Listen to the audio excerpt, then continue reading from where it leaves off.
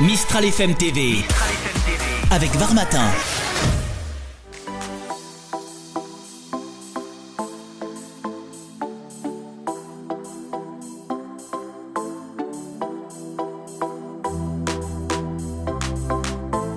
Ça fait 30 ans que je bataille pour arriver à faire entendre raison, aux uns et aux autres.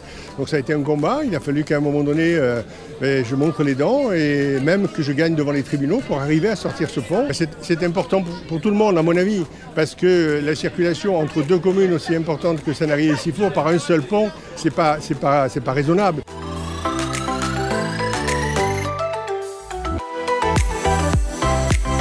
Il n'y a pas eu vraiment de réticence de Sifour qui a obtenu ce que la ville a obtenu ce qu'elle voulait, un pont à sens unique et qui contourne la copropriété. C'était en tout cas de faire en sorte que les nuisances soient le moins importantes possible.